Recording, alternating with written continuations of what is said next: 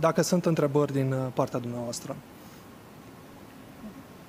Bună ziua! Uh, v-aș întreba în legătură cu ceea ce s-a întâmplat aseară, o um, performanță foarte bună pentru fotbalul românesc, uh, prezența lui Ișvan Covaci la o semifinală de Champions League. Cum vedeți dumneavoastră această prezență și ce înseamnă pentru fotbalul românesc?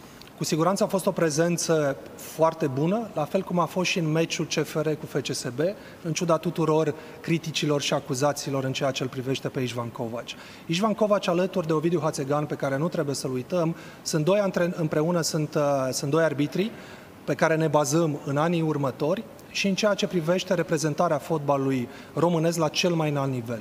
Pe lângă prezența lor la, la campionatul european, cu siguranță ne așteptăm ca amândoi să fie prezenți și la campionatul mondial.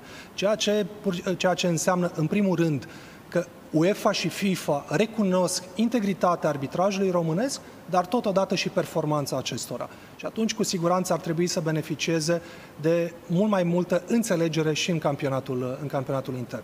Pentru că l-ați menționat pe Ovidiu Hațegan, următoarea întrebare este legată de ceea ce se întâmplă cu el, dacă se păstrează o legătură cu el și cum poate fi ajutat în această perioadă, având în vedere că știm în momentul acesta arbitrajul nu este o profesie și practic nu se beneficiază de anumite venituri în cazul în care nu arbitrezi. Da, cu siguranță ați menționat foarte, foarte bine și o temă de interes pentru noi ca și federație, fiindcă arbitrii sunt singurii amatori în rândul profesioniștilor. Chiros Vasaras are un contact uh, constant cu, cu Ovidiu Hațegan, pe care îl așteptăm cât mai, cât mai repede să, să revină, astfel încât nu numai la nivel intern, dar și la nivel, uh, la nivel internațional, fiindcă Ovidiu, obiectivul pentru Ovidiu Hațegan trebuie să reprezinte la fel prezența la campionatul mondial. El își dorește să revină? Cu siguranță. Așa au fost ultimele discuții pe care le-am avut chiar eu cu el.